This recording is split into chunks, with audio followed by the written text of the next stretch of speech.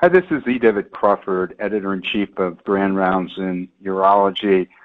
Our monthly feature, PCA Commentary, is authored by Dr. Ed Weber, who's a retired medical oncologist but very active uh, academically. And Ed is going to review this month's presentation. Ed, take it away. The January issue of the PCa Commentary focuses on the subject of anti-tumor immune response as potentiated by radiation therapy. This is a concept that had preclinical support, but now is clinically supported by the results of the recently reported ORIOLE trial. This was a trial of randomizing men with oligometastatic disease who had three or fewer lesions to either radiation therapy to those lesions or none. No uh, androgen suppression was given.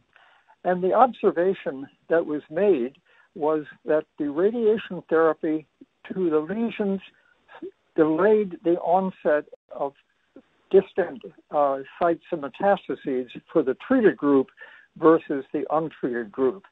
This is a validation of the, uh, the theory.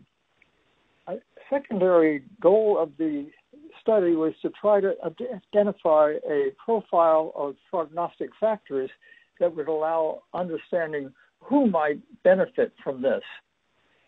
The basic immunology uh, of this particular uh, treatment type is called the abscopal effect, which means the treatment directed toward the lesions released neoantigens that then allowed the T cells to attack uh, disease elsewhere this basic concept uh, is probably going to become a, a new uh, clinical paradigm.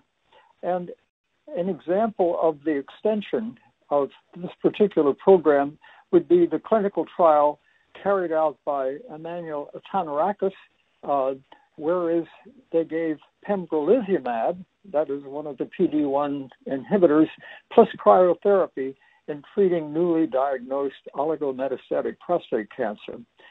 So this is an entirely new concept that is now being validated. I suspect it will begin to show up in quite a few protocols and enhance our ability to address uh, oligometastatic disease with uh, radiation therapy or cryotherapy.